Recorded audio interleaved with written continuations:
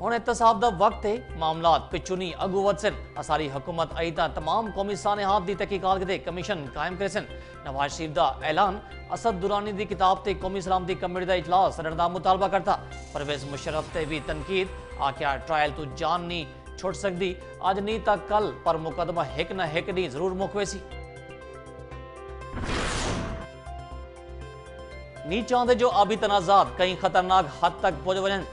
Kishanganga hydro power project के मामले को मस्बत अंदाज चाहता वेदा रहा दफ्तर खारजा का दावा अमरीकी सफारतकारा की हिरासत की कोई बाजाबता शिकायत वसूल कहते थी डॉक्टर फैसल की प्रेस कॉन्फ्रेंस